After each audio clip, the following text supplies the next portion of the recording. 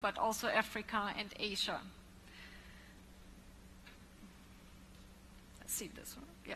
So this, the way the session is structured is that we have four very short presentations, and you see, you do see or you don't see them li listed here, and this is followed by a panel discussion and Q&A.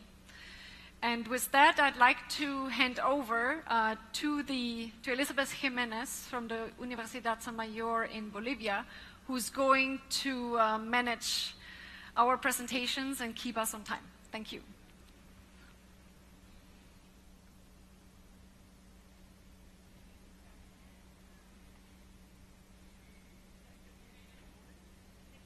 Here with us for this presentation. I'm going to be presenting the first uh, pres uh, presentation for this afternoon. It's Eleanor Blomstrom. She's coming from the Women's Environment and Development Organization, WEDO, from the USA. Just um, for the organization of the entire session, we'll have seven minutes for each presentation, around.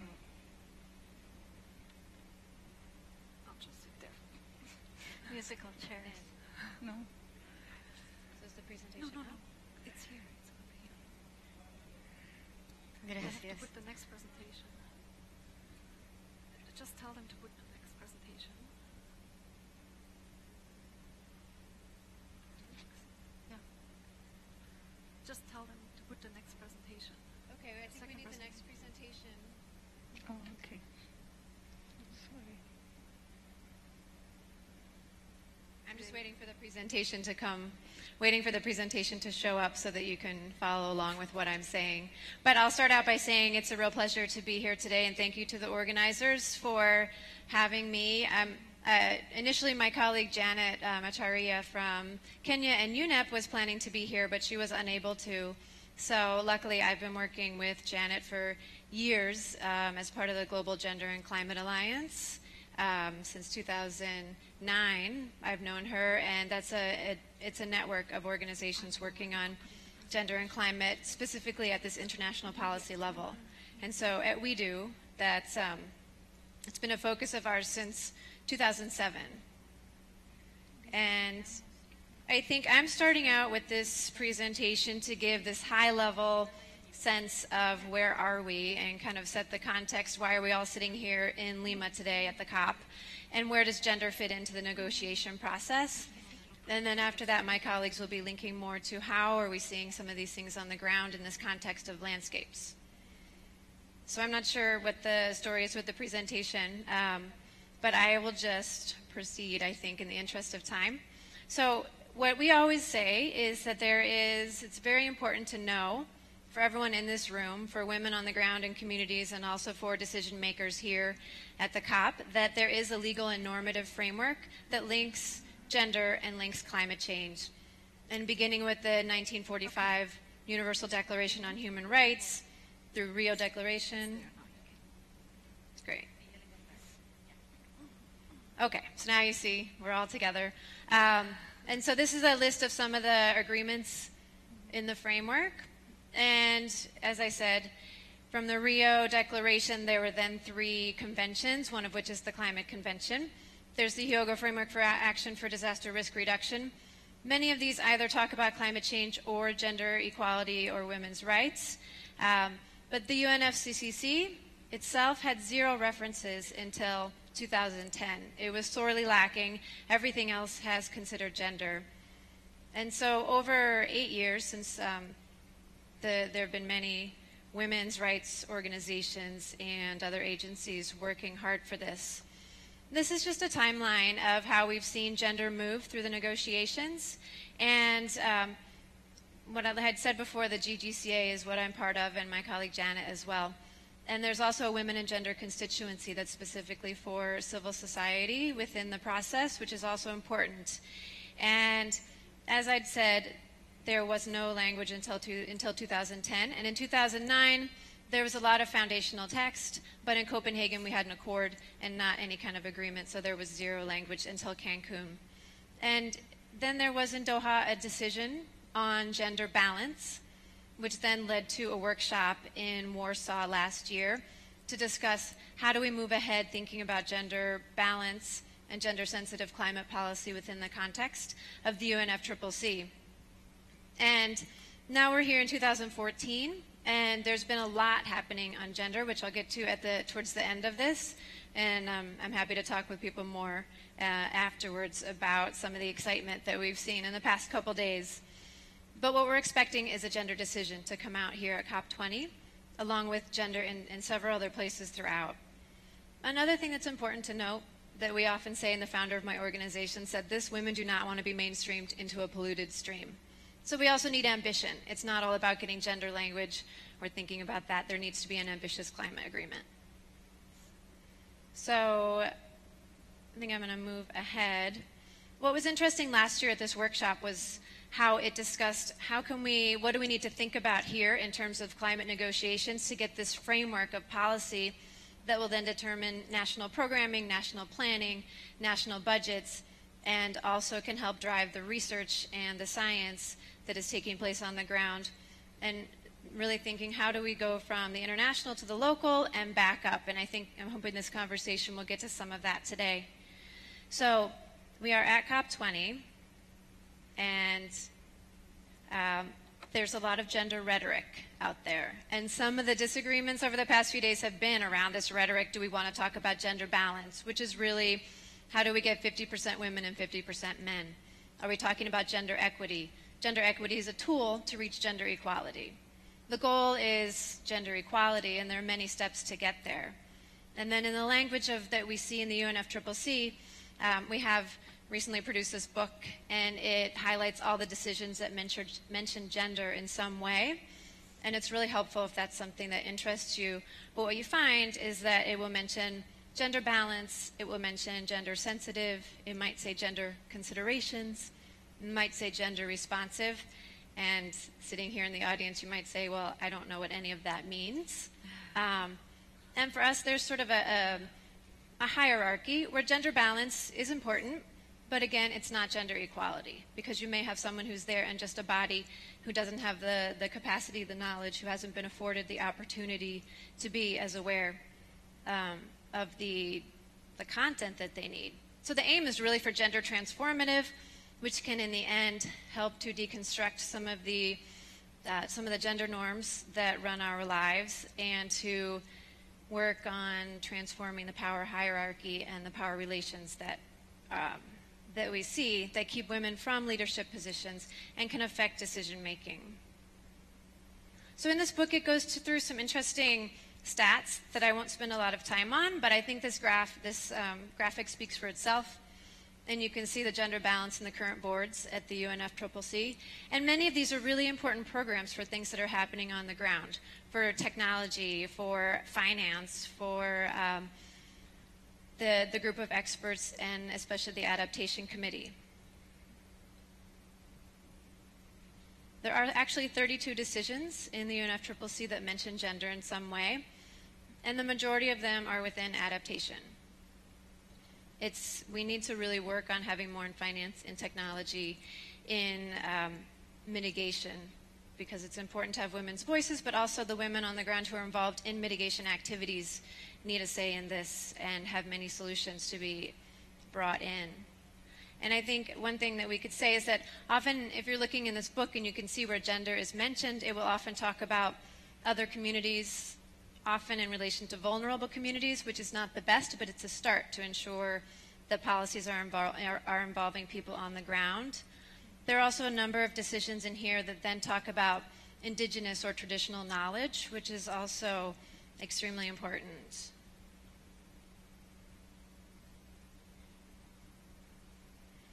Um, I think the panelists will get into a lot more really why gender and climate change, so this is just a provocative question. Maybe have you asked yourself this? The IPCC has recognized that there will be different um, impacts based on age or gender or class um, or region, and it's important to recognize that.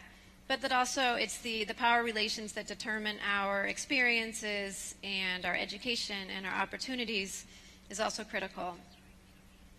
What we also need to get to is um, a better understanding. How does gender affect climate change? How does climate change affect women? How are women blocked from participating in these decision making structures? And then where does women's leadership and effective participation in decision making, where does that come in? There's a lot of research that says that diversity in decision making is critical. And so here we are in gender equality and climate change. Where are we in Lima? As I said, there's been some excitement. There was something called the gender decision, which there's now a draft decision. And there was a lot of discussion about the, the, terminology, gender balance or gender equality. And the goal is gender equality, but some countries were interested in keep, keeping it more limited to gender balance, which um, in the end doesn't take us much further than we were last year or the year before. At the same time, there's gender in the, in the new agreement, which is absolutely critical. And we can't get lost in one decision on gender because there are a lot of places in adaptation and in mitigation and in finance that we need to keep working on. And especially in the programs, there's something called the Nairobi Work Program that deals a lot with adaptation that uh, maybe some of these panelists even work within. And what does it all mean for action? I'm going to actually leave that to my panelists to answer, to my co-panelists to answer. Okay. Thank you.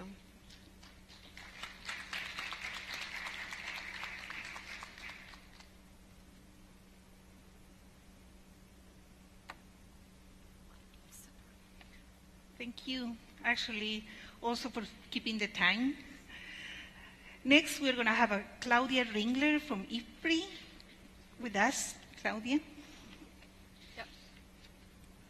Yeah, thank you very much. Um, so, you know, why do we work on gender and climate change? In June, I was at an outreach event in Ethiopia, and we invited a lot of government agencies. And at the beginning of these events, I always ask, you know, so why did you come today?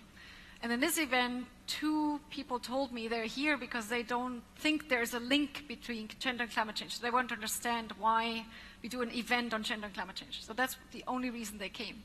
And so I think that perception is still very widespread because they feel, you know, climate change is one big phenomenon and gender is another one, but there's no linkage. I think what we're saying here today is that there's many uh, very clear linkages. And so we did a study on, on four countries, Bangladesh, Mali, um, Ethiopia, and Kenya, to look at gender differences in perceptions and impacts, adaptation strategies, etc. And these are just a few findings across those landscapes. So we found that there is a very uh, clear, and obviously that was also known before, a clear gender gap in both tangible and intangible assets. And that means intangible ones would be education and literacy and social networks, and the tangible ones are basically agricultural land, agricultural assets, etc. And so while men actually, what we found is are more um, directly adversely affected from climate change because it tends to affect agriculture as a very sensitive sector, we also found that women's assets that are often smaller, like small livestock or jewelry, so they're smaller and more liquid than those of men, because men might hold like the land. And so they're more uh, easily and more quickly disposed of in, in, in when we have a climatic shock. So basically it means women, yes, they're also affected, but maybe more indirectly. What we also found is climate information that's getting you know, increasingly complex with those dynamic impacts of climate variability and climate change. Climate information doesn't reach uh, women as quickly and as comprehensively as men. So men have those formal channels to get the information. And when the information doesn't exist, the perceptions don't develop as well. And if you don't have a perception that there's a problem, you will not do anything about it. So that's a very uh, important issue, and we found that both in Ethiopia and Bangladesh. We also, probably unsurprisingly, found that women have less access to those agricultural technologies that help uh, adaptation to climate change. The case study in Mali, um, we could eco econometrically show that men uh, were able to almost fully make up for production shortfalls as a result of climate variability because they had access to irrigation. Women did not have that access and could not make up for the production shortfall. We also found that women had only access to very traditional uh, agricultural technologies like the hoe, and the men got those modern tillers, etc. Another important issue is risk aversion. There have been a lot of studies that uh, have shown that women are more risk averse than men. Again, if you're risk averse, you're less likely to take up new technologies or you know try anything that, that's, that's not something that you have done in the past. Our studies, we haven't found uh, that women are generally more risk averse in, in the overall, in their overall daily life, but we found that they're more risk averse in agriculture regarding agricultural decisions. For example, in Bangladesh, which is very surprising because women actually do not take a lot of decisions in agriculture in Bangladesh. But we, we, we think the reason is that women are so much dependent on men taking good decisions in agriculture that they are actually are very risk averse because they know their, their livelihoods and income depends on men taking good decisions. Mm, at the same time, again in Bangladesh, we found that women are actually interested in agriculture insurance products. Uh, even so, again, they don't take the decisions in agriculture. Again, we feel it's because they feel their income and livelihood so much depend on that. And obviously, there's now a lot of institutes, agencies that uh, are developing this weather-based index insurance. So that should be a good sign. But then we also found that women are much less, uh, have much less financial literacy.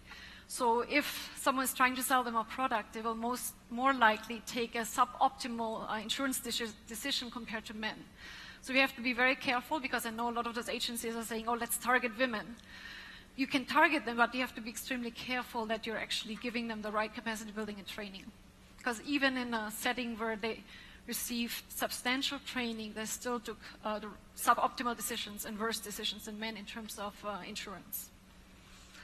And finally, uh, we, we, heard so the UNFCCC decisions, etc. So we are trying to get a lot of gender language in. And for example, the Ethiopian land reform um, has been very uh, gender sensitive, gender responsive. Both women and men are on the land title. So the thinking is now both women and men most likely will take more sustainable land management decisions and more sustainable land investments because now they have a land tenure in both women and men. We found again that's not the case. And the reason is that the women have much lower um, knowledge about what the land title actually mean. They, they didn't understand land transferability associated with the land title. They didn't understand much about the, um, uh, the gender, the gender, why both you know, were on the title, and they also just didn't understand land tenure. And so women undertook uh, much fewer sustainable land management investments as a result. So what, what should we do? Um, for sure, we do need to um, you know, target climate information more directly to women. Uh, we could show that if women have equal access, for the case of Kenya, they are as likely to take, take up agricultural practices for adaptation, and that's actually a result from a researcher who sits here in the front row, Jennifer Twyman, because I have, have an undertaking uh, the research myself. Um, we also uh, find that if you're able to build up both intangible and tangible assets of women, then they will be more likely to really increase their resilience in the face of climate change. Uh, we specifically looked at group-based approaches. There's a lot going on, uh, group-based approaches for uh, credit instruments, joint uh, holding of uh, milk cows, etc. So there's a, there's a lot of good things that are going on. But we found that women generally, again, take less decisions. They have less time, actually, to spend on those group-based approaches. So we have to again, be very careful on how we approach this. It's not like, okay, let's get more women into groups and we have resolved the problem. It's not that easy. And finally, we cannot monitor what we can't measure. Um, so, you know, again, we, we, we interviewed, I think, about 200 agencies in those four countries in terms of what they're doing on um, gender-sensitive uh, climate change adaptation programs. And while most agencies are doing it and they feel that's the right thing to do, uh, many of them actually are not collecting gender data, and so they actually don't know if what they're doing is beneficial for women and men. And so basically, you know, we can't measure, I mean, what we don't measure, we don't know what we're doing. So we can't monitor what we don't measure. So we definitely need uh, much more, um, much more happening in that area. And so this is, those are really the couple of uh, summary results that I wanted to present here. And these are just a couple of resources in terms of publications, and they can be found out there, I think, in the gender booth and in the IFPRI booth, etc. And there's a lot of uh, more information online now today in terms of really gendered impacts on climate change, but I think a lot more work has to be done. Thank you.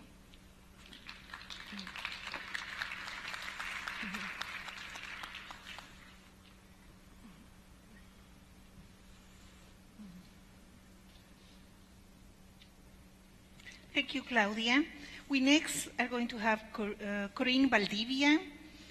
For the presentation. She comes from the University of Missouri in the USA. Thank you, Elizabeth. Uh, good afternoon. Buenas tardes. I'm very glad to be here with this group of um, people talking about something that really matters to us. Uh, we've been working in the Andean regions of Peru and Bolivia, in the Altiplano region to be specific. And so the experiences that I'm going to share here come from that work of many years of collaborating with um, smallholder farmers, communities, and universities in, in these two countries. The three messages that I want to focus on are first of all, that context matters in addressing adaptation and resilience. We have to think about what's happening locally and who are the agents of change in those contexts. Second, that the perceptions of threats and risks are pretty high among women and men, but differ across landscapes depending on what, where people are uh, developing their livelihoods. And um, that impacts the likelihood of taking on new knowledge if trust is not built. And finally, the last uh, point that I want to make is that gendered participatory research processes and institutions are key in building adaptive capacities in vulnerable contexts. So we need to engage with local communities and with other stakeholders in building new knowledge. I'm here you can see um, a picture. It, this is uh, Rosita, a community in Puno, and she, many years ago, shared with us about the use of local indicators for forecasting climate. The Pleiades is one, the Tola is another one, and those are biophysical indicators that help them predict when to plant and what the weather is going to look like. And it's key to potatoes, which are the food security crop for most of these environments in the Altiplano and in many Andean communities. Uh, one of the things that's happening here is that this local knowledge that has been adapted through generations is being challenged by, by changes that are happening very fast in their context. So we have on the one hand that in the past 50 years, the temperature in this environment has increased one degree Celsius. Warming in the Altiplano means different things to different communities. We also have seen that the projections to the end of century for this environment are going to be, on the one hand, a 4 degree Celsius temperature in average increase. And uh, hopefully we can do something today and at this COP to figure out how to develop practices to change these, these projections. We also know that due to those projections that during the springtime when we plant, it will be drier and during the growing season, you will have extreme rain events. So there will be the same amount of water, but unfortunately, the soil moisture won't be there because the soils won't be able to capture that degree of moisture. And there are currently practices that allow us, uh, traditional practices that allow us to keep the soils moist. Uh, it requires a lot of labor and a lot of resources, and that's a key to making sure that the environment doesn't uh, lose humidity very fast. We also know that the wetlands, the peat bogs, the bofedales that we call them, are also key to retaining the water, but to carbon, to carbon sequestration, as the soils are. So those are two, when, when you think about adaptation, you're thinking about building resilience in the ecosystem. These are two key uh, elements for building resilience, as is the biodiversity of crops. But they are also key to mitigation, as we can see, by the ability to uh, um, keep the carbon in the soil and keep the water. What I'm showing up here is basically the landscapes that we worked in. So we worked in communities that were close to the, uh, to the Lake Titicaca, which is an important lake just uh, here between Peru and Bolivia, uh, all the way to high elevations of 4,000 and about 4,000 meters where pastoralism is mostly the um, key resource uh, activity for the livelihoods of people. In these communities, labor is a key resource. So as we think about um, trying to deal with adaptation, we need to think about how can we retain men and women in these communities? What are the incentives to stay there and do and continue these practices that bring resilience to the environment while they are impacted by negative market forces and therefore migration? But the experiences between men and women are different in these environments. In the high plateaus, there is a lot of um, migration, and women have to take care of managing the animals as well as marketing, as well as taking care of the families, and therefore, not enough labor is there to maintain the irrigation that's key to keeping the, the peat bogs in these environments. In other environments, like in the middle of the Altiplano in the northern, northern part of Bolivia, there's land fragmentation, a lot of migration, and women remain to manage the resources and to produce. These women and uh, men are facing a key um, risks, especially from uh, pests to their crops, frosts to their crops, and loss of animals, which are a key asset for, for families. They depend on those as their banking account. Therefore, in these environments with low level of income, there is a high degree of dread and fear about all these events. So we find, therefore, that in, in most of these environments, there is a lot of dread regarding droughts, frosts, and climate events. But there are also dreads regarding the markets and the behavior of the markets and the well being and health of their families, especially the children. Under conditions of dread, the science has shown that people will be more likely to trust their own knowledge, which has been adapted for generations, to take on the risk of new knowledge.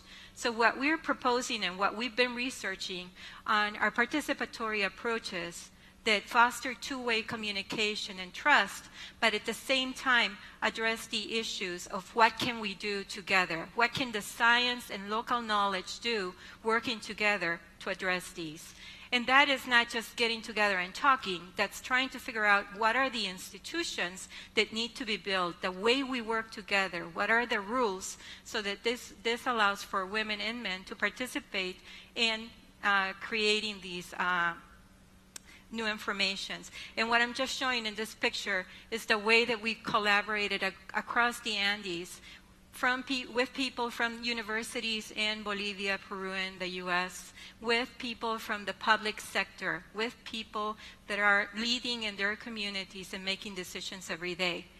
It takes time, it takes capacity building, so investing in uh, a way of mainstreaming gender, mainstreaming cultural and intercultural work, and developing the networks that provide access to information and political action are essential to being able to adapt locally.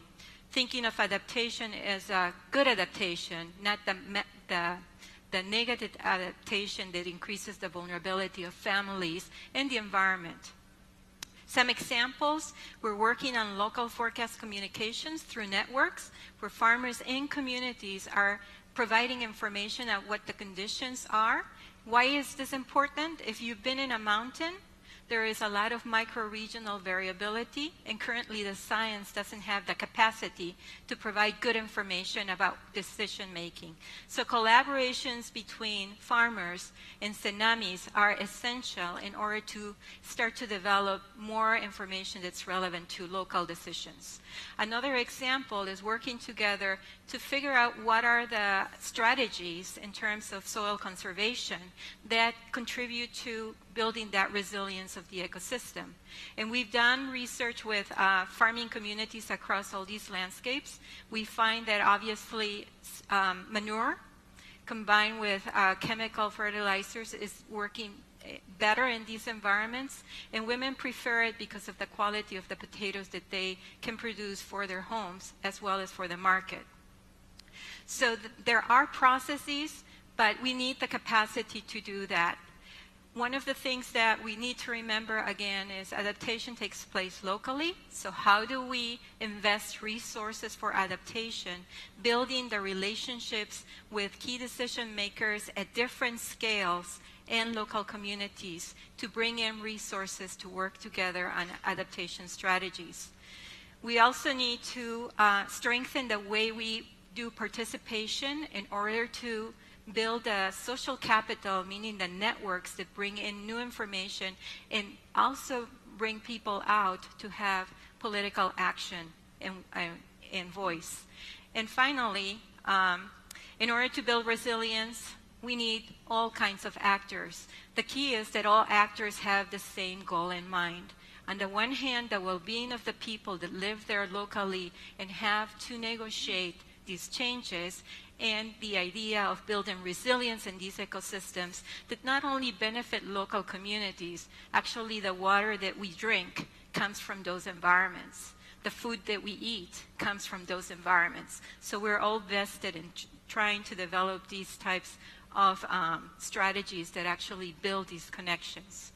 Uh, just in case for, for more information, there is a flyer outside where you can find some references of the work that we've been doing together and um, many um, references and uh, information. Thank you very much.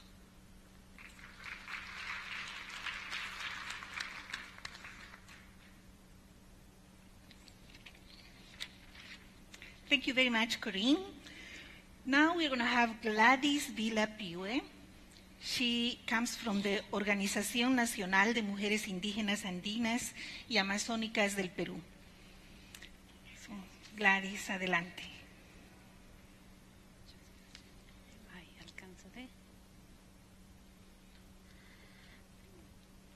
Pai, Yapayanchikpa, Jokayin y Sumak Punchaucachu. Gracias. Primeramente, agradecer esta oportunidad que nos da. Thank the organizers for this opportunity so that the voices of the indigenous women may be heard in uh, this uh, important proposal where we cover gender and resilience uh, uh, in climate change and how to include our proposals in COP20. In my presentation, I would like to focus on three aspects. I would like to show you some pictures as well.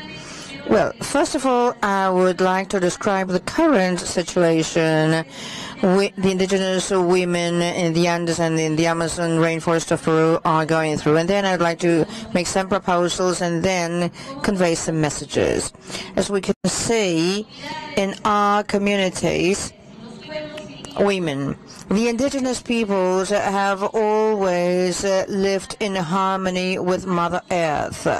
To us, uh, the land and uh, our habitat are part of Mother Earth. Therefore, Mother Earth gives us food, medicine, and shelter because that's where we live. However, we should also take into account that in recent years, human beings through a large number of activities of different kinds have damaged, have hurt Mother Earth and for example, in the case of Peru, every three minutes nowadays we lose one hectare of forest uh, due to deforestation. This is a matter of great concern women have. And uh, in Peru as well, 70% of the foodstuffs uh, that we have in the cities uh, are produced by small farming. Small farming uh, that uh, mainly involve Amazonian and Andean women. However, there are no public policies that are aimed at reverting the situation. Here, people say that Peru is very rich in uh, gastronomy, but still, at this point in time, there are many brothers and sisters in Peru that are hungry, that have nothing to eat. And our landscapes, such beautiful landscapes. Apparently there are some technical problems and they cannot show you the pictures that I would have loved to show you because uh, we have beautiful landscapes in the Andes and in the Amazon rainforest, but they are being lost because uh, there is no mm, sense of life anymore. And that is why Amazonian and Andean women within the framework of COP20 demand clear commitments and policies vis-à-vis -vis climate change. We cannot talk about climate change when there are no policies, especially in terms of adaptation. The issue of uh, mitigation is being covered, but adaptation is not covered. And then adaptation policies are of the essence for indigenous women because nowadays when the weather changes, we lose our production of potatoes, corn or fruit. And we have no funds in order to make up for that loss. Therefore, it's important for the Peruvian state and all the other states that are part of COP20 take up some policies uh, for adaptation purposes. And we also demand some prior conditions because as it's been said here, there's it is not possible that we still live in a country where our territories, uh, where our peasant communities uh, do not uh, have uh, property deeds that may guarantee uh, ownership of uh, that land. Therefore, we demand completion of uh, ownership deeds. And then we also demand consistent policies. Uh, because today people talk about REDD Plus, but we cannot talk about REDD Plus if there is no comprehensive vision we talk about forest protection, but we cannot talk about the forest if we do not talk about the glaciers, if we do not talk about uh, the origins of water, because uh, we would not be able to have a forest uh, if we do not uh, keep the glaciers, if we do not protect the glaciers. The ecosystem is a comprehensive uh, matter. We cannot talk about the Amazonian jungle on the one side and then about the Andes on the other side. This is something comprehensive, and that is why we say that if we lose glaciers and if we lose our eyes, uh, it's quite likely that uh, our cities will be left with no water. That is why we demand an active participation of women and the indigenous peoples in all the spaces uh, where decisions are made. Today, uh, COP20 discusses uh, these policies. Nevertheless, there is uh, an issue that limits the participation of indigenous peoples. The indigenous peoples and women are limited or have limited access.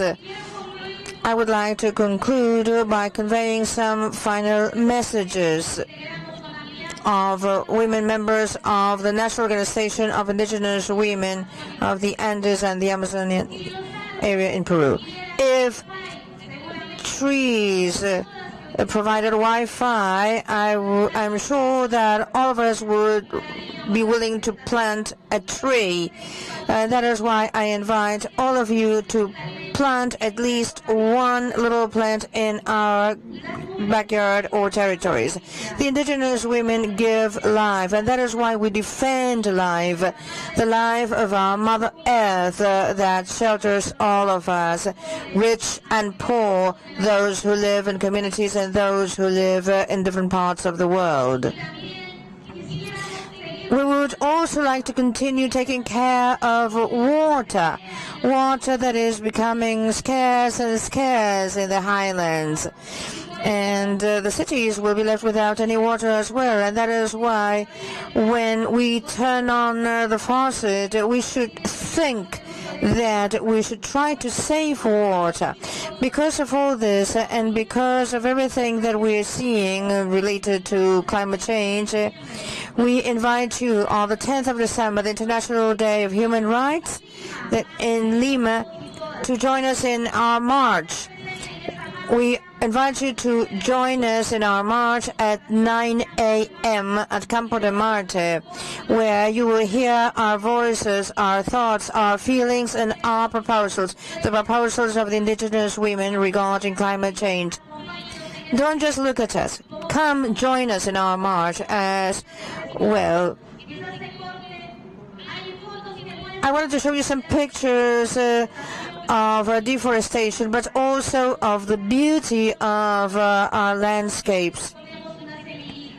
When we plant some seeds, we say that we use one seed to grow a forest, and we want that seed to produce forests that could be seen by our children and grandchildren. Thank you very much to all of you, and I hope you take in your hearts this awareness in order to contribute from your homes, from your communities, and from your work to this goal. Thank you very much to all.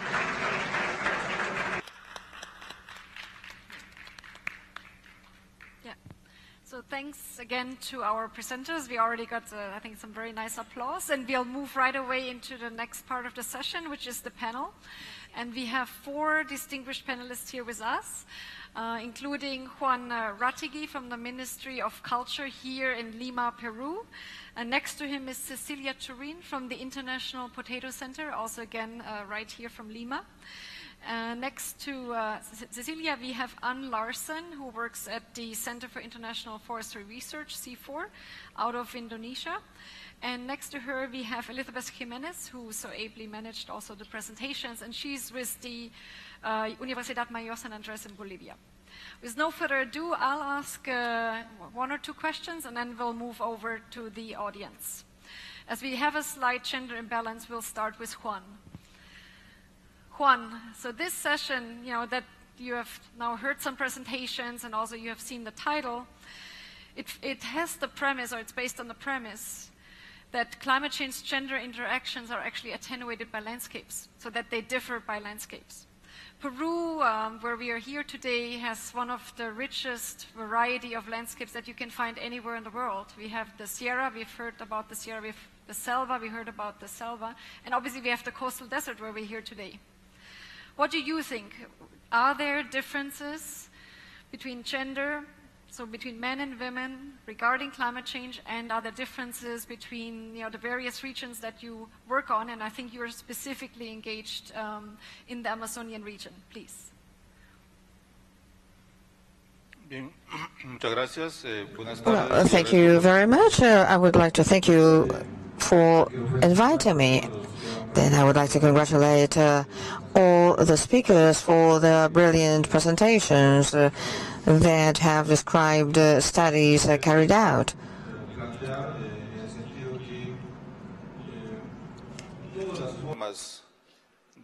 What I would like to say is that all forms of life uh, in the indigenous peoples uh, are comprehensive strategies uh, to adapt uh, to climate change. And this is not just now. It's been done so for years and years. Men and women of the Andes uh, and the uh, rainforest in Peru have been doing this for years. Therefore, it should be acknowledged that indigenous peoples play a major role in the maintenance and recovery and adaptation of ecosystems. We should not forget that that intrinsic relationship that we've always had between men and nature is so important. We need to bear this in mind, especially when we talk about the indigenous peoples. There's another important aspect to guarantee respect and to promote adaptation strategies used by the indigenous peoples based on traditional knowledge, based uh, on the wisdom of the forefathers, as has been done throughout history, wisdom that has been conveyed from one generation to the next. This way of life uh, should be promoted and maintained because it is part of their own lives and it's also allowed them to preserve those forests throughout different generations. But I would also like to point this out. For thousands of years, indigenous women have taken care of life.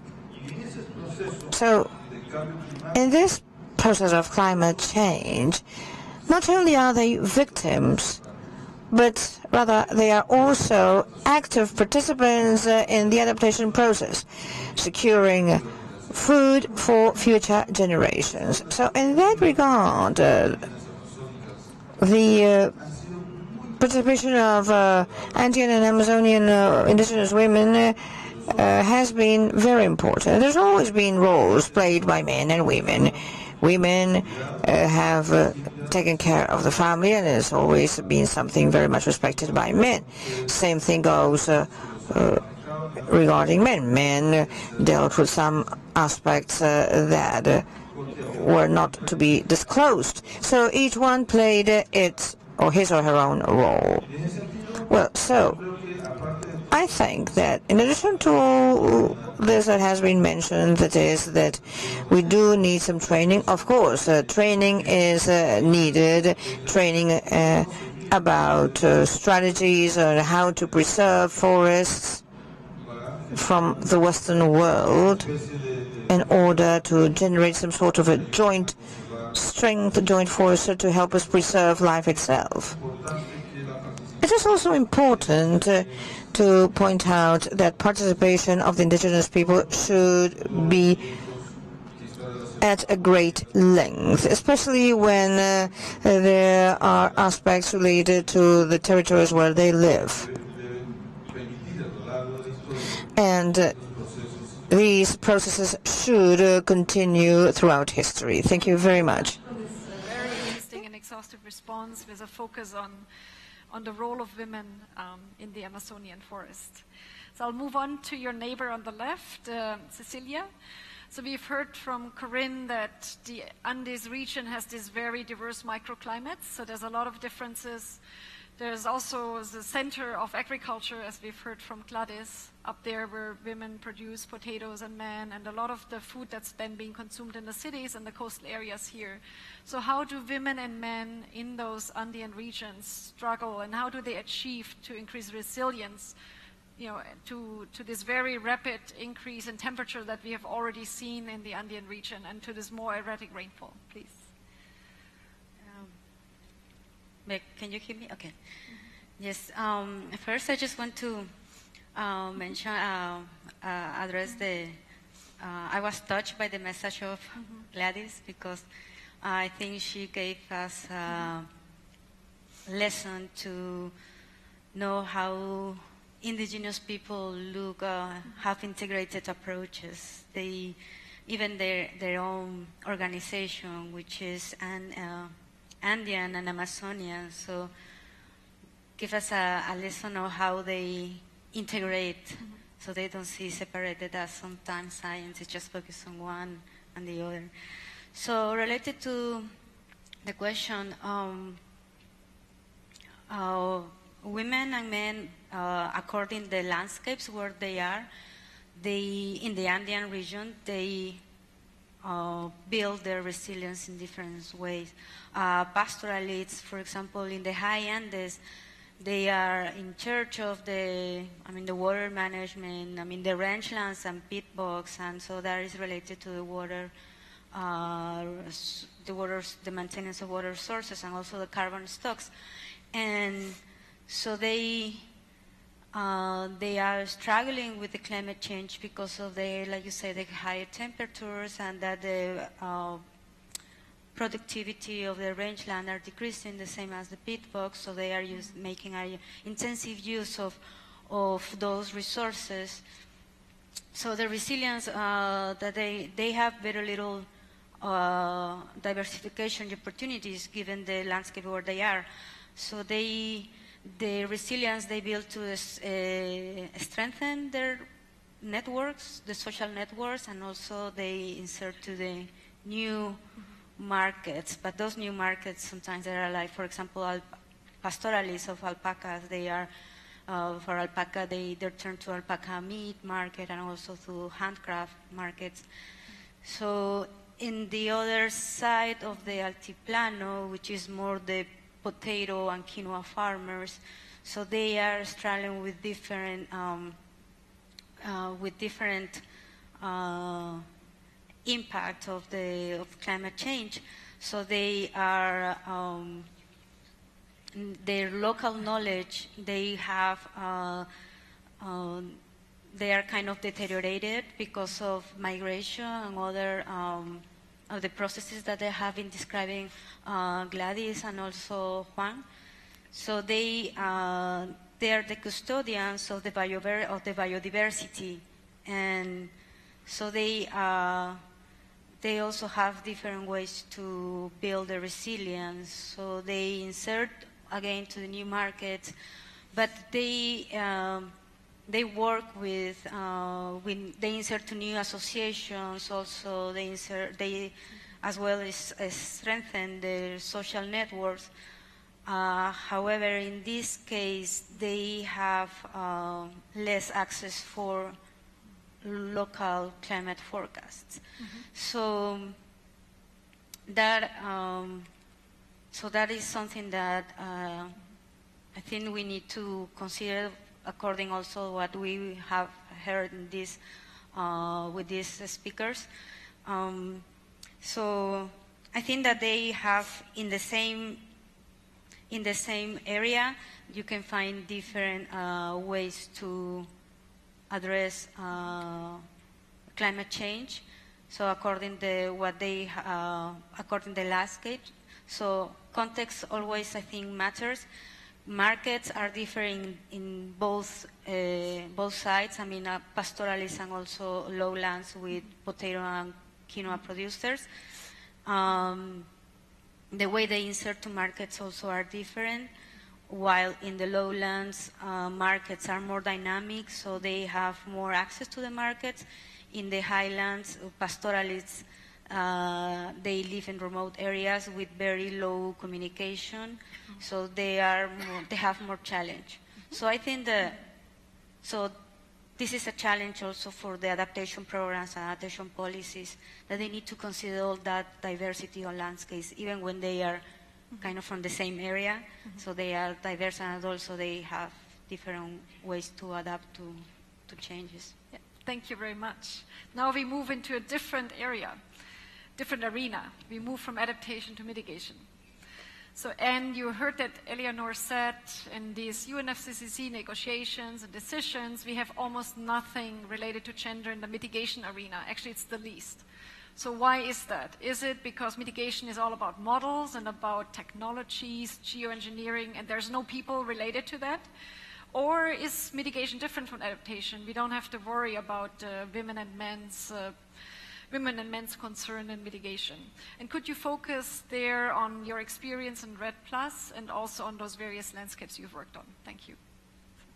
Sure, thank you. Um, so I apologize that it's, it's true mitigation has gotten a lot more attention, but unfortunately gender isn't being taken into account in mitigation, and that's what I'll, I'll be able to talk about today. Um, first of all, I just, could I see a show of hands for people who don't know what REDD is? People basically have a, an idea of what REDD is. Do I need to explain very briefly? See a couple hands back there. So just very, very briefly, REDD is, is a program called Reducing Emissions from Deforestation and Degradation and it's aimed at, it's basically a financing mechanism to try to lower carbon emissions by lowering deforestation and degradation. That's the only, all you really need to know for the, for the moment. Um, so in terms of your question, um, there's a big, been a big push since the early years of REDD to uh, regarding concern about people living in forest people, forest communities and indigenous peoples from the people who pushed for REDD from the beginning, as well as people who were opposing REDD. And so it's been, so the idea of it being participatory has been pretty important from the beginning. Um, the safeguards debate here this week has been really important, for example. This hasn't been entirely successful, but it's been given enough attention that we can say it's not just about models, but it's also about trying to account for people's behavior, or at least including people. Mm-hmm. So the problem is, okay, what is people? Um, who are we talking about when we mm-hmm. talk about people? And in spite of all of the efforts to in, to improve participation of communities, we know from years of research that uh, communities are differentiated, and we can't assume that by including or by having community representation or any other way you look at community, if you don't address the internal differentiation, including um, gender, ethnic differences, and so on, um, this may not be sufficient. So first of all, just very briefly, why might REDD affect women? Uh, is it something women should be concerned about? And the primary goal here is to lower carbon emissions coming from forests, and that means changing behavior in forests. And many of the REDD projects around the world have really focused on smallholders and communities and the, these drivers, the, the direct drivers of deforestation in communities. So anytime you're talking about changing behavior on of land management or forest use in the, on the ground, you're affecting also uh, not just men but also women. So I just take that as a given that there's a risk for women as well. So one might conclude that then we ought to make sure women are participating, right, in these processes. So I just want to briefly run through some research that CIFOR has done on uh, villages where, where REDD projects are being implemented we did this research. I'm going to present results on 20 different um, REDD projects, 77 villages around the world uh, that had enough data at the time we did this. These were early REDD projects, so they were really uh, just the beginning stages. New research has since been done, but it's too quick to have, it's too recent to have been analyzed. The countries were Cameroon, Tanzania, Peru, Brazil, Indonesia, and Vietnam. And what we did was compare the results, one of the first things we did was compare the results of focus groups. We had focus groups just with women in communities, and we had village focus groups, which were uh, 67% men. So they were the, well, I'll call them the mixed groups for now.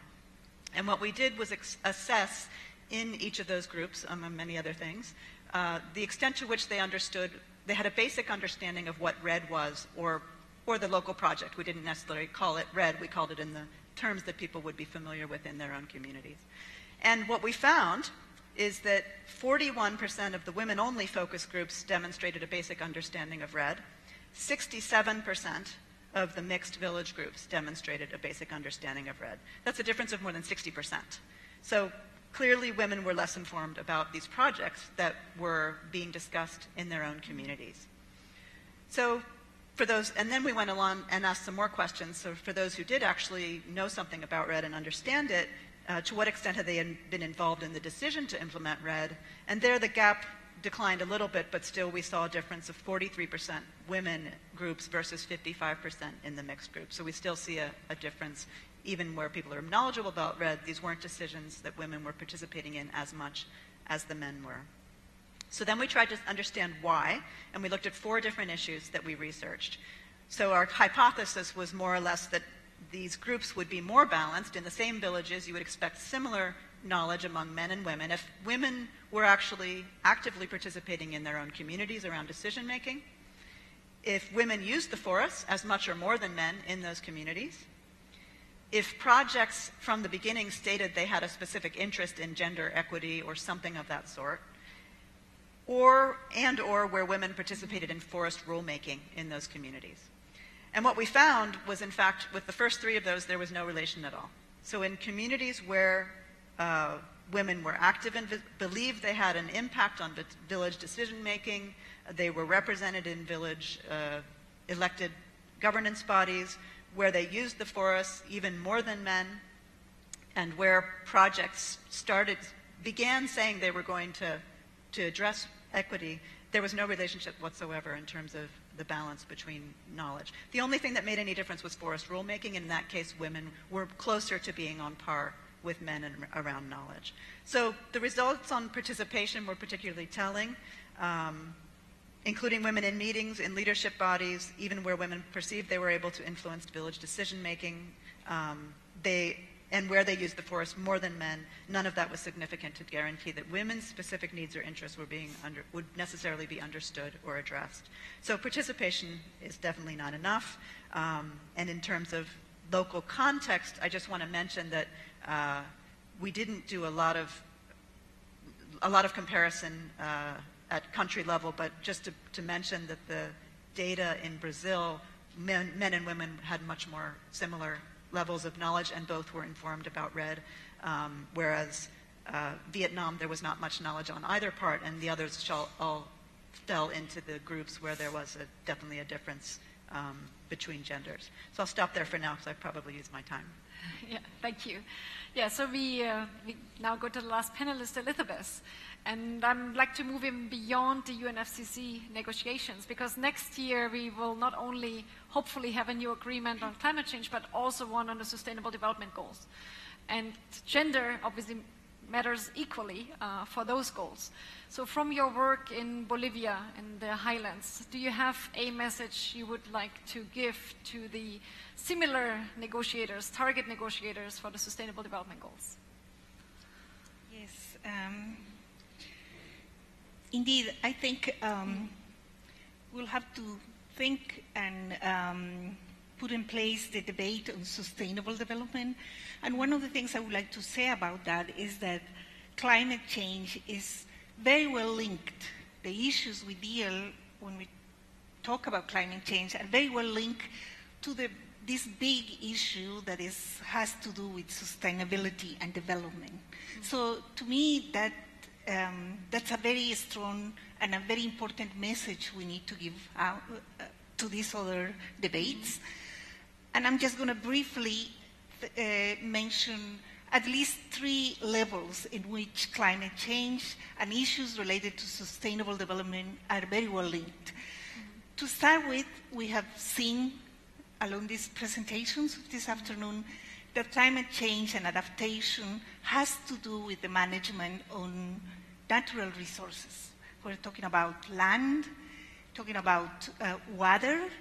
Corinne's presentation was also emphasizing the need to think about labor, migration, and so on. So these are key natural resources, and adaptation to climate change has to do with the management of them.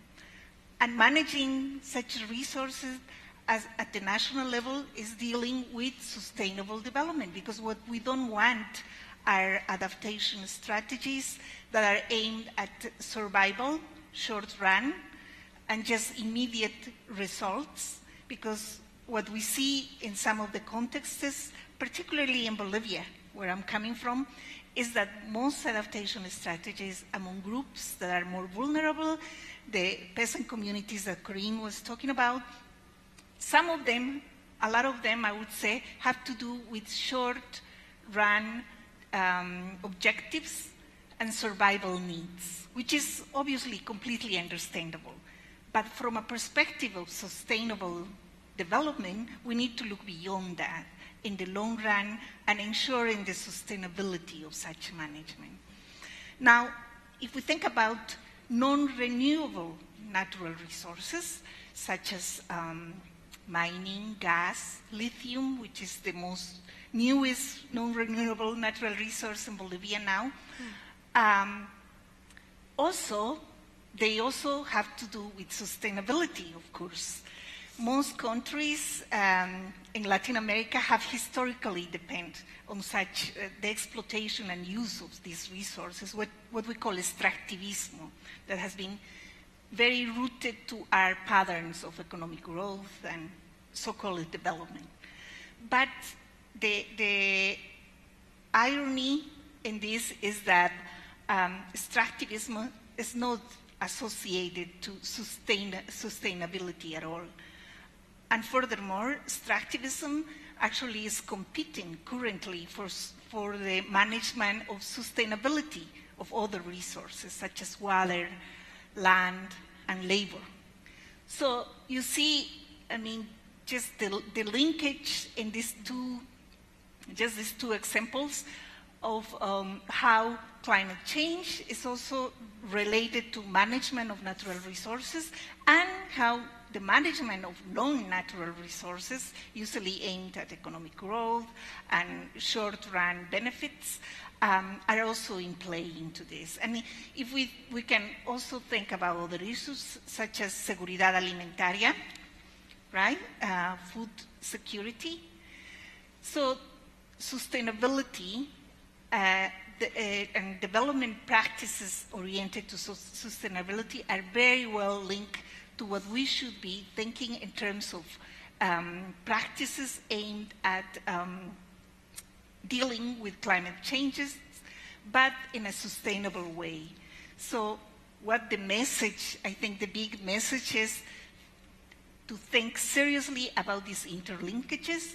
We are no longer able to uh, separate such as issues and think about economic growth as having one agenda, obviously, but we cannot also think about an agenda of managing natural resources um, apart from dealing with climate change. So I think this is indeed a very strong message that should be taken into account.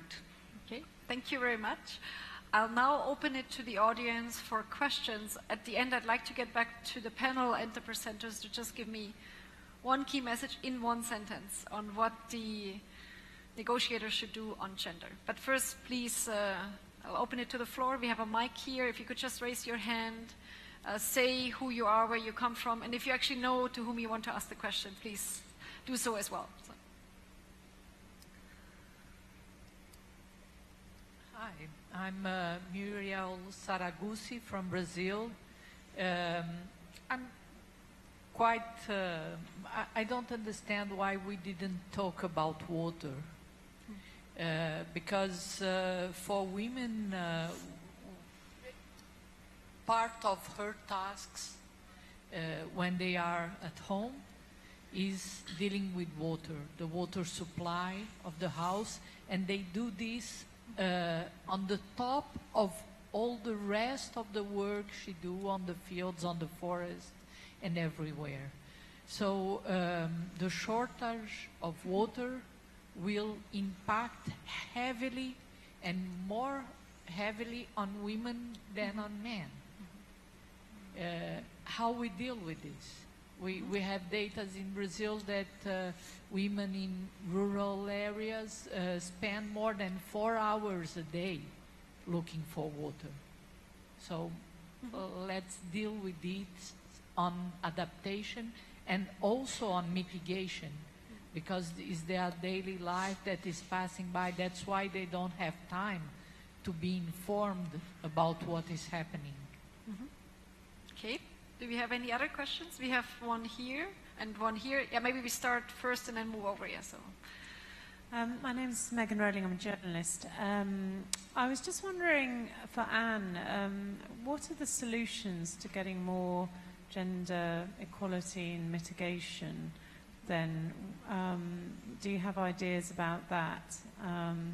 Because it seems like there are specific barriers um, when it comes to, to mitigation. But I mean, you talked about REDD research, but I didn't quite understand why specifically mitigation is worse off in this area than adaptation. Mm-hmm. Okay, another third, uh, third question.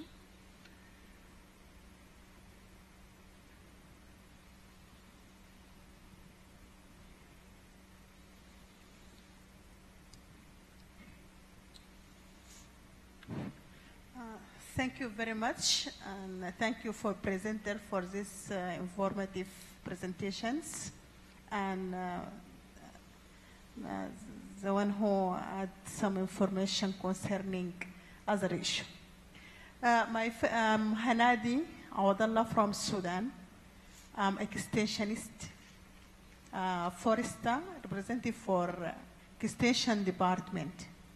So uh, my first question uh, concerning the empower of women society uh, to negotiate their own problem concerning climate change because we are not uh, all time need to negotiate on behalf of them.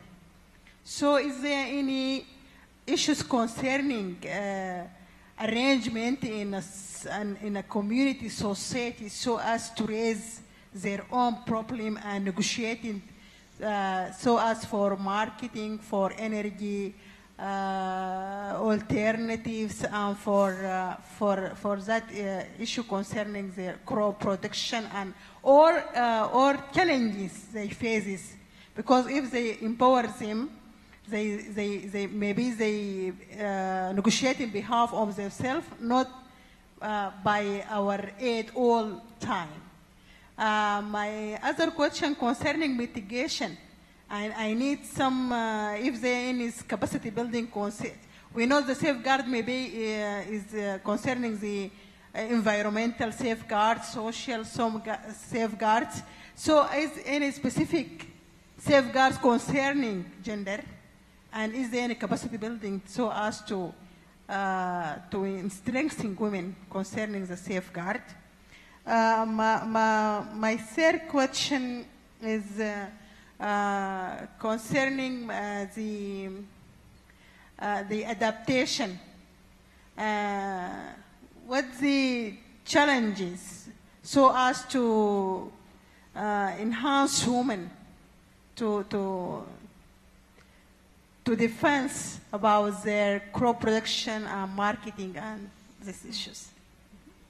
Yeah, thank you very much. Okay, one final and then whoops.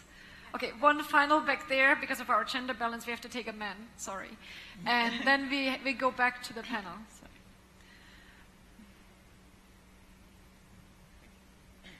Hi, uh, my name is Javier Rodriguez. I, uh, I come from Spain, but I live in Ecuador. I work with social and water management issues, and I would like to thank you all for the, for the session. I think that it was really interesting.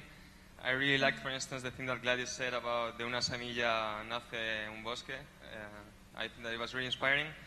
And I was, um, I really, it's just a follow-up of the thing that Mrs. Muri, uh, said uh, about the, the issue of water, because I work with this. I think that uh, it's very interesting, the, the issue of uh, forest governance and landscapes governance, but also the interaction with water governance, because you were uh, raising the question about mm, the interaction between the Andes ecosystem, the Amazonian ecosystem, but what is exactly the role of women in this kind of water governance systems that we are building? Because I'm pretty much familiar with it, but we don't take women or this gender issue in the, as important as I think that it is. And uh, I think that it's very important for the mitigation and adaptation question, but I never heard uh, this interaction between these two dimensions. So I would like to know your opinion about it, the water governance thing in, in general. Yeah, thank you very much. So, as the chair, I'll talk a little bit about water, at least for the first question. Um, we had a couple questions on mitigation, and I think both Eleanor and Anne can answer those together because some related to the negotiation process and some related more to the, the research that informs why we have to do much better in the negotiation. And then we have the, some additional question on water governance specifically relating to the Andes. Uh, I'll ask Corinne, and if anyone uh, else uh, like Gladis or Juan want to come in there.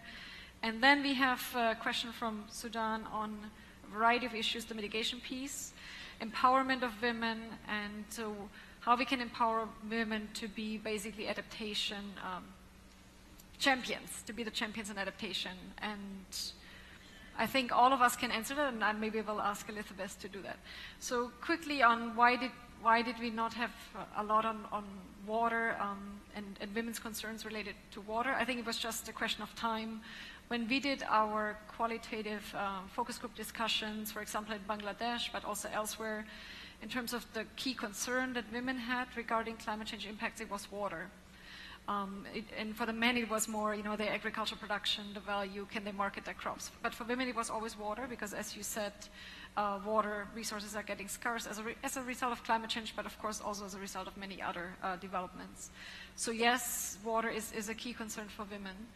Um, and the other, maybe the other result on, on water is when we did research in East Africa on uh, desired adaptation options, when we asked women and men actually uh, irrigation is, is the most desired but not easily implementable um, uh, adaptation option. So yes, water is, is very clearly associated um, with that. I'll hand over first to talk about water governance because it's the second water question.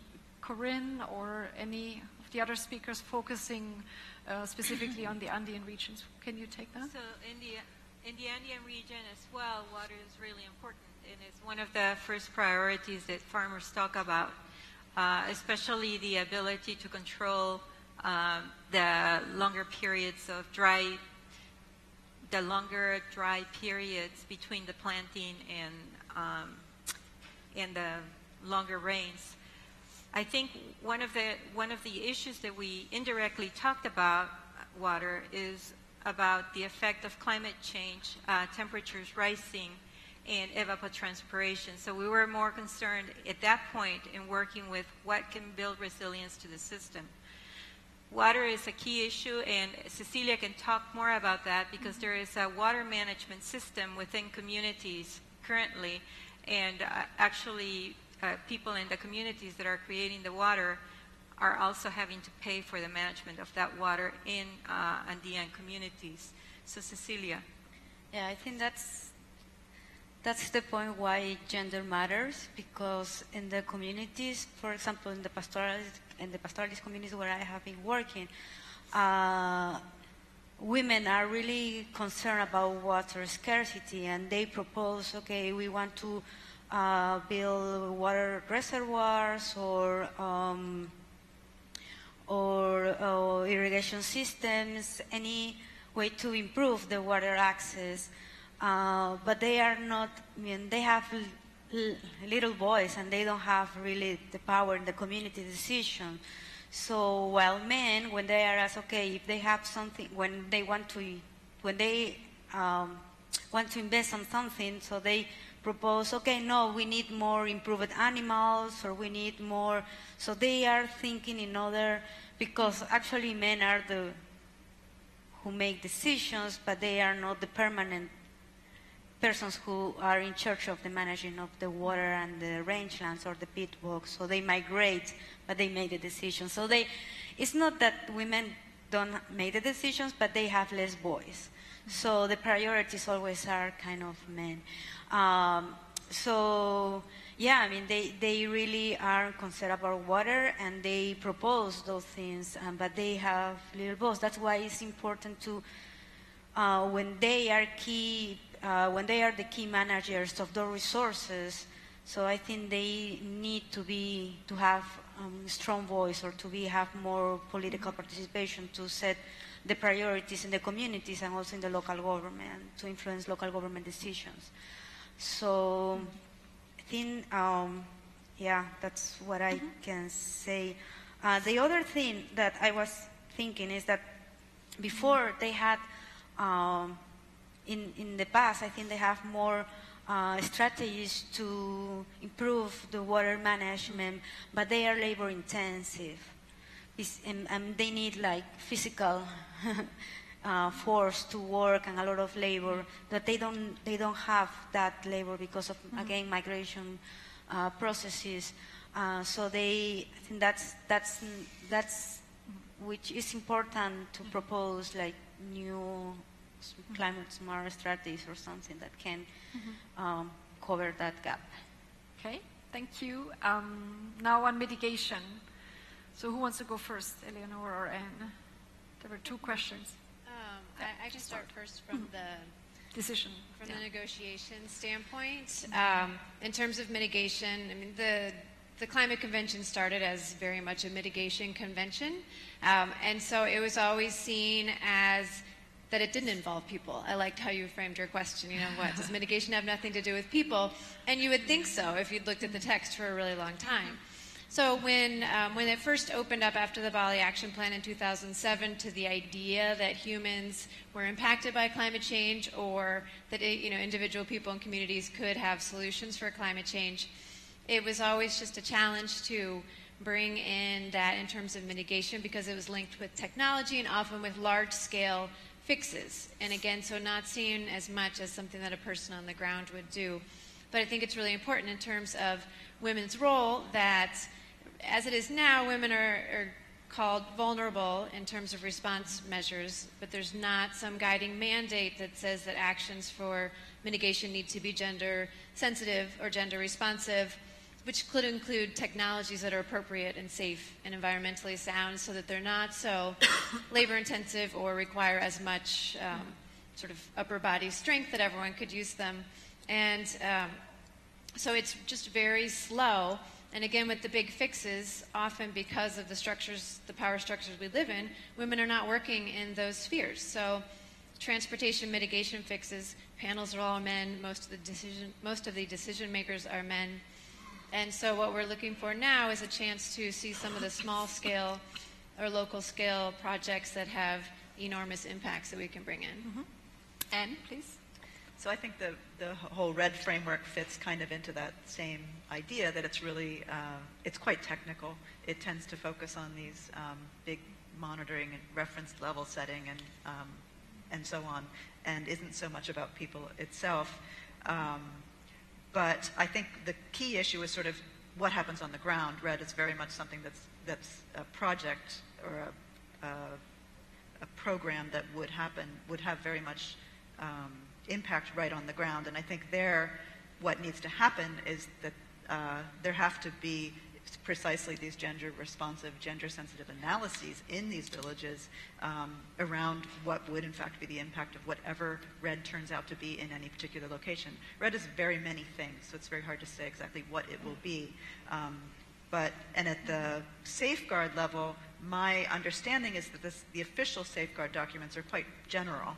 Um, and, but there are proposed safeguard uh, standards that have been set by other organizations. And the one that I've seen that's gone the furthest is the, I believe it's the UN REDD, UN Women, I forget exactly what it's called, that actually talks about doing this kind of level of gender analysis and has toolkits for doing this. Whereas other, some of the others are really just talking, saying participation, or when we say community, we mean men and women. Um, that's kind of vague. Thanks. I think Juan, you wanted to make a very quick intervention. Sí, eh, sí quiero agregar en relación a la mitigación. Los, los bosques. Forests. Eh, the forests and their role in mitigation and in climate change in the past years, they were precisely discussing this very strongly. And at COP10 in, was held in Cancun, they acknowledged that the forests had a very high importance for mitigation, and this is also related with traditional knowledge of the indigenous people and the rights of the indigenous peoples. And this is something for which uh, indigenous peoples are not looking things independently, but in a comprehensive manner. That's why they are working what they know is known as the holistic management of the territories for full um, livelihood. They, they include everything, the resources, the water, and everything involved. That's a holistic vision that the indigenous peoples are developing currently, basically. So therefore... you just have to facilitate that they're able to do what they want to do.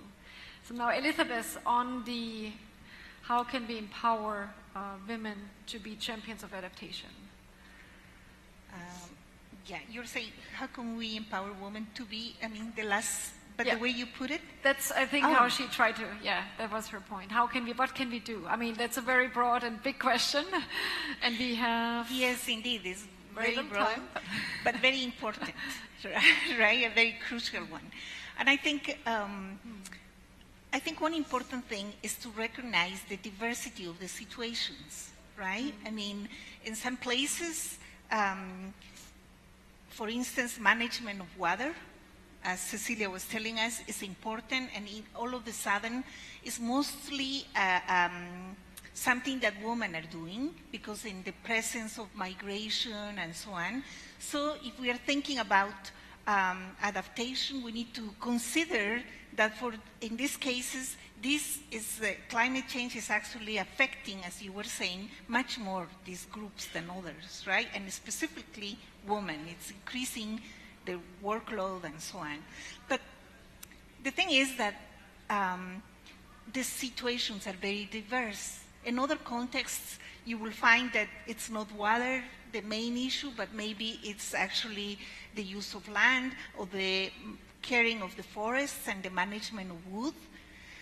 Um, what we have seen, and I can talk here from the Bolivian experience, the work we did with Corinne and Cecilia too in Bolivia, what we had seen is that um, in most of the contexts that we had studied in the Bolivian highlands, um, households where the organization of labor inside the household was more democratic, and I will say just tended to be more democratic because, uh, you know, all of them were not democratic, if we are going to use this uh, word, but where there was more democracy in the sense that chores were shared between men and women to some extent, it was not only women who was in charge of marketing the agricultural products, but it was also men. They participated in their own way, you know, with some division of labor specifically. Um, also, in terms of activities such as, the, such as the caring of the family, because that's where also household labor is organized for, right? Who takes care of the kids. In households where there was a tendency to be more democratic in the, in the organization of labor, such households were better able to cope with management of risks mm. and management of problems related to adaptation of climate change. And that was that's interesting. And also the third thing, I'm sorry, I forgot to mention, is that such households were also better off in terms of their incomes and their capitals, the access that had, right? The differences are relative. It's not that we're talking about mm. equal participation of men and women inside the household and in activities related to production, reproduction, and care, but a tendency to more democratic organization of labor. Mm. Such households are associated with dealing better with risks and the management of risks, but also have a higher income levels and higher capitals. So the message here is that even if there are diverse situations in different contexts, geographic, economic, social, and political, um, tending towards more democratic organization of labor inside the household is very important. It's crucial. So this is an old question, right, of the debate in women and development and so on, more equal organization inside the household, but it seems that it's an unresolved, obviously, and that we need to look at that. We need to, to, to realize what these differences are explained for, and one factor is actually that in inequality in the way that household labor is organized is not associated with better coping strategies, regardless of the context, and it's not associated with higher levels of income and capital. Thanks. Now, this very last uh, question that I promised is one short sentence. So, what is the number one thing, or what's the one thing, not the number one, but one thing that the negotiators should consider regarding gender, climate change and landscapes? Please. Um, from, my, from my perspective, I would say there are two words human rights that we need to make sure that we're considering that the negotiators have to have that in mind, especially with the new agreement coming. And so it's it, beyond human rights. It's two things. It's having a guiding principle on gender in this text so that it it frames everything, but also talking about either gender equality or gender responsive actions in the operative text that can apply, can apply across the board and then have this impact on projects and development at the ground. Corinne, thanks. Especially when we think about um, adaptation, my key message is figuring out and building capacities to work together from the bottom up uh, in order for the voices of women to be heard but also for the voices of multiple cultures that are not mainstream mm. also be part of the decisions and solutions. Mm-hmm. Thank you. Gladis? Mm, bueno, a los negociadores. Eh, well, the indigenous women will ask the negotiators uh, to have an intercultural approach to have an intercultural approach and also a gender approach because uh, they uh, leave aside a cross-cutting uh, approach. Uh, we need uh, um, policies more focused on women, especially on indigenous women, especially knowing uh, our background. Thank you. There are some agreements already adopted uh, in uh, the COPs. Uh, I am more focused on COP16. In other words, the traditional knowledge should be included, the rights of the indigenous peoples uh, and full participation and broad participation as active participation of the peoples should be included uh, when distributing uh, benefits in a fair manner. All these aspects uh, should also include the gender component. Cecilia. Capacity, but making parallel processes local community, but also, I mean, encouraging the local community to be heard, but also on the other side of the communication canal to also people who are ready to listen, really, Mhm. not to just continue doing what Yeah. the way they were doing. Not just paper tigers. Yes, Yeah. and so the other is like, I think that um, in adaptation programs and adaptation policies, I think uh, into building all those processes, I think in order to be like climate smart, what now is kind of trendy, this word is like we need also to be gender smart, I mm-hmm. guess. Okay. Right. Very good So- term. I like that. Let's do gender smart negotiations. Very good. Anne. So, for me, in the REDD context, I would say that if the status quo is inequitable, then interventions that don't understand and address those inequities from the beginning are doomed to perpetuate them. Thank you. And I, it's getting shorter. I like it. Elizabeth. okay, this is a challenge. but I would say that addressing the gender issue as transversal to everything as it has been done in the last, what, 20 years or so, I think it, it, it's not what we should keep doing. I mean, why? Because um, there is diversity, cultural diversity, as Gladis was saying, and Corinne too, social, political diversity, and we need to um, think about gender. And I don't think that transversal was the way that has helped us to look at the, the key and crucial issues. Thanks so much. So please give our very uh, engaged panel and presenters a final hand. Thank you very much. And before you're allowed to leave the room, I want to tell you, I have to tell you, that there is there's a gender pavilion right out there, and they have something called um, knowledge share fair. So there's a lot of information on gender, climate change adaptation, and landscapes that will be shared out there. And please share all of your experiences, because unfortunately we couldn't take all the questions. We couldn't also hear all the researchers who do a lot of work on this topic. Thanks again. Thank you very much. Bye.